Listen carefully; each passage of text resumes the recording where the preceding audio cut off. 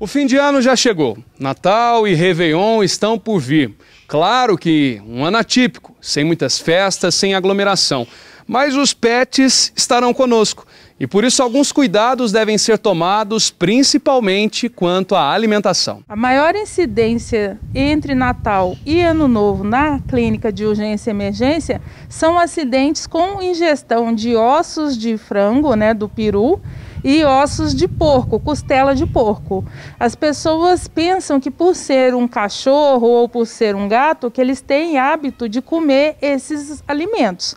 Só que eles não estão na natureza, eles não têm o hábito de não engolir de uma vez. Então eles engolem esses ossos e esses ossos às vezes você tem que fazer cirurgias de urgência para retirar esses ossos. Bom, e além dos ossos que não devem estar perto dos pets, também é necessário entender que eles não podem com muita gordura. A alimentação deve ser regrada nesse momento. Tem alguns animais, por exemplo, os, os iorques, os animais pequenininhos, que eles pedem muita comida e as pessoas esquecem que o estômago deles é pequenininho.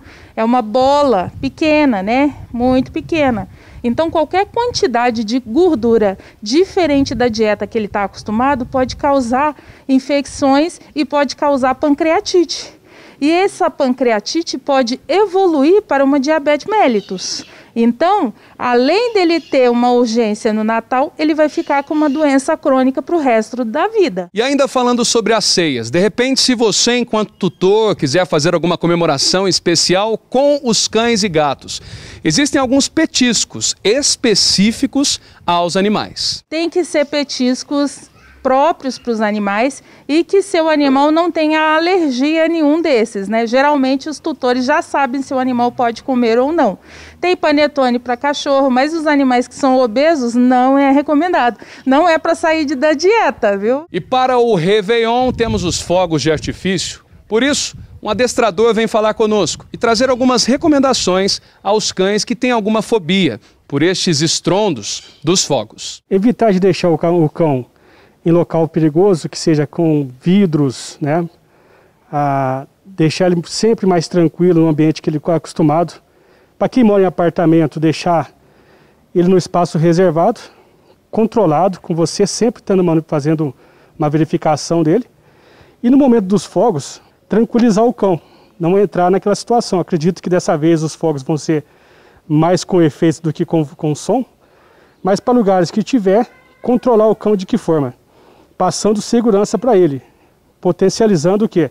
Que você está firme naquela situação e que ele vai entender isso. Só de você estar presente ali, espera ele se acalmar, ele vai parar um pouquinho, sentar ou deitar, e aí você agrada ele, potencializa nesse momento.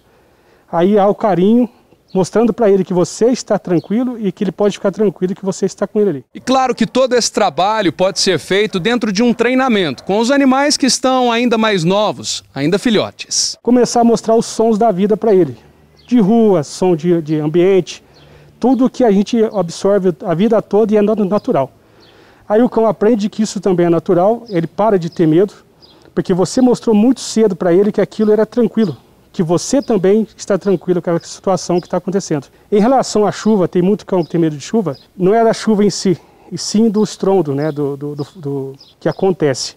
É a mesma posição do foguete. Se você mostrar para ele que a chuva é natural e ele sabe que é natural, e ele vai conseguir ficar bem com aquela situação. As imagens são de Márcio Pinto, reportagem Luiz Felipe Galo com a atuação da Cici, nossa artista do dia. Feliz Natal e feliz Ano Novo a todos.